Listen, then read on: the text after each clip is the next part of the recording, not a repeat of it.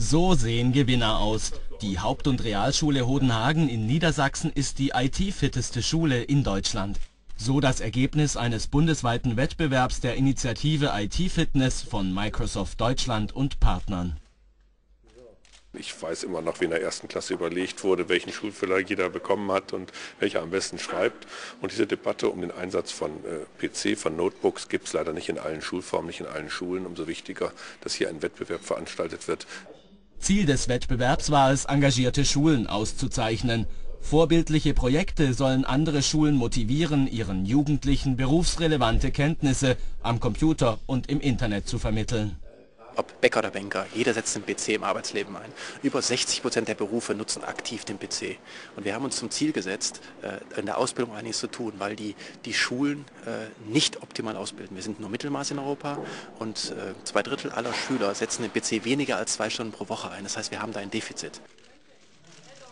Den Startschuss zum Wettbewerb gab Angela Merkel gemeinsam mit Bill Gates, dem Gründer der Initiative. Das war im Januar in Berlin. Seitdem sind 250 Bewerbungen eingegangen. Und das ist sie. Den Preis für die IT-fitteste Schule erhält die Haupt- und Realschule Hodenhagen. Die Auszeichnung gibt es für den innovativen Einsatz von PC und Internet im Unterricht. Dafür wurden eigene Lehrpläne entwickelt, Räume umgestaltet und die Pädagogen haben sich weitergebildet. Das Ergebnis, Schüler und Lehrer sind im Umgang mit dem Computer richtig fit. Das ist nicht selbstverständlich. Laut Studien wird der Computer in Deutschland im Vergleich zu anderen Industrienationen am wenigsten im Unterricht genutzt. Das will die Initiative IT-Fitness ändern, etwa durch E-Learning-Angebote und andere Maßnahmen. Als Sieger des Schulwettbewerbs erhält die Schule in Hodenhagen einen großzügigen Preis. Ich bin natürlich als Schulleiter der Firma Microsoft unheimlich dankbar. Nicht nur, dass wir diesen ersten Preis gewonnen haben, sondern auch über die 50.000 Euro Preisgeld.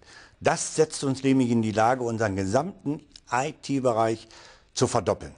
Das Preisgeld wird in ein Klassenzimmer der Zukunft mit IT-Ausstattung und Trainingsmaßnahmen investiert.